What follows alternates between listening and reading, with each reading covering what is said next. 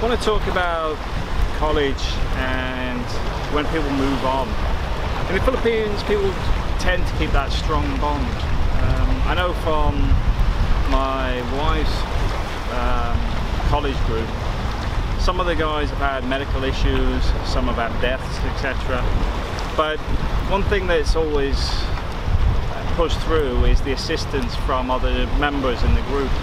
Um, I remember one of my friends had a had a lump on her throat, quite a large lump.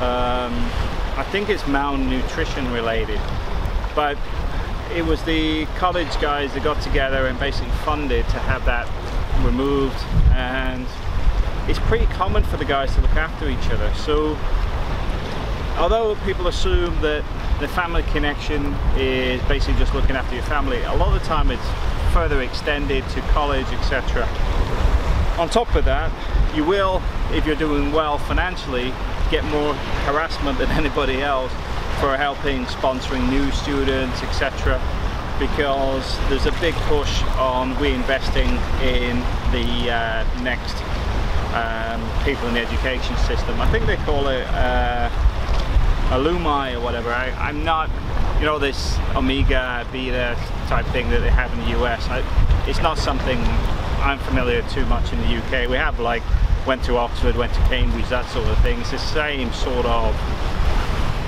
grouping that can help you career-wise but I do think this one's a lot stronger. The connections are a lot stronger because a lot of people have come up from the same financial difficulty.